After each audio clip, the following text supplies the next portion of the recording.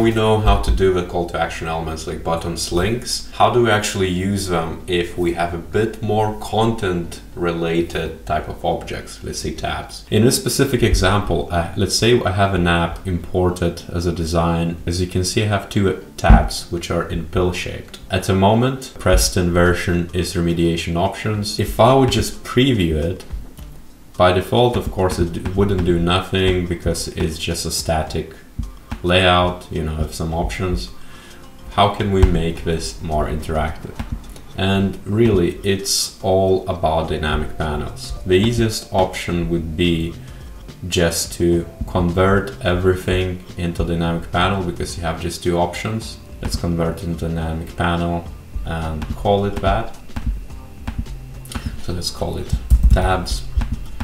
Uh, as a state one, that option is active. If we duplicate and add state two, we can then make you know the other options clickable. So let's say if I simply reverse the order of a thing. So now as you can see the, the second tab became active. As I said I just want it to be text and, and some image. So let's say if I'm gonna just drag in a placeholder image, imagine that it's some sort of something related to the subject. I'm gonna add some text underneath it now have two states. Now you have a dynamic panel, but all it's waiting for is for you to come in and make the change happen.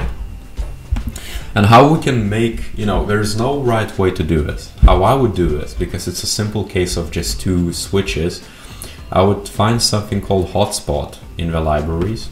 I would drag one by one, for example, on that tab and a copy on the other tab.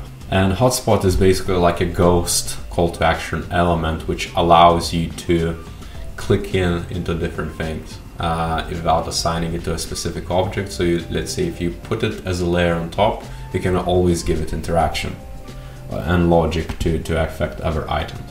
So let's say if we click on that, we need a new interaction on click, uh, set panel state, and let's say tabs into state 1 and if we click on the other one on click set panel state tabs state 2 that's it we have our tabs ready at a really basic level. So now if I would click uh, on that or that as you can see I mixed up the content inside but the tabs still work. And that's how you can do the tabs. Uh, let me demonstrate how it could work. Like if let's say we have three tabs I would need to increase it the width of, of our um, prototype. I would just probably want to delete one of the states because I don't really need it anymore want to maybe delete tabs and just have something really simple so our web app or, our mobile app now has three tabs, uh, just one state, but we can always make it clickable. Either make three states, add hotspots on top as before and just have three states, or we can even take the tab triggers out, make just the content into the states. Let me just show you. Let's say state 2 has no image but just text and state 3 has something totally different like that image placeholder. Now we have just a content block. But imagine if I have a limited amount of tabs like this.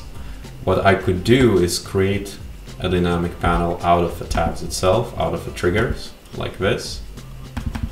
And in the same way as the content, I could just create three different states and just move let's say some sort of trigger or active state across. Or even another way is just to make dynamic panel out of a trigger and just move the position, which is more advanced, which I can cover in other videos.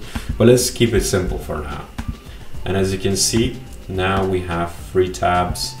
Again, no real interaction is going on. So what we can do is we can either add hotspots on top like this, and allow it to click through with adding the interactions.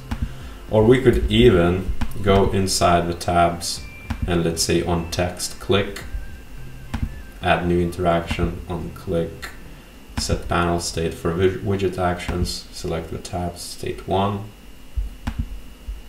then the same for image and statistics. With a caveat that then you have to change it in every single state because it's the copies. But let's do that. I mean it's it's quite tedious but I think it's essential. So let's say if I copy that and paste it on that as you can see it automatically assigns it.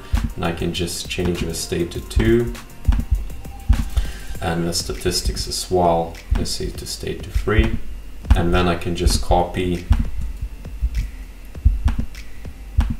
the text or just simply replace that text because the position is the same from one state to the other. Now this is a bit more advanced and now I made one error which I'm gonna correct in a bit but if I let's say preview and I click on one of these as you can see changes tabs. Now the error I made is that I didn't change the dynamic panel of actual triggers I only changed the dynamic panel of this. So the easy fix here could be just adding another line at target dynamic panel which I didn't name but it's exactly this one and say state 1 now for second one it would move to state 2 and for a third one it would move to state let's say 3 and let me just double check that everything is in order. It is. Again I might just copy the text with the interaction state across because that's quite easy. Like this. And like that. Boom. So now it's universal. It's across the panels. And the result would look like this. As you can see that works pretty well right again you could achieve this just bulking everything in one uh, kind of panel it's quite easy to do so as I showed in the beginning, or you can just take it as you wish. You can assign so many different things and change things as long as you keep a track of what changes what and you don't make the errors I just did. But I hope this is helpful and you can take some of the logic behind you know how to make this prototype happen and make something of your own. Now, if this is too basic, skip a few videos. If you have other ways you could solve tabs, let us know in the comments. Give it a like, I really appreciate it. And see you in the next episode.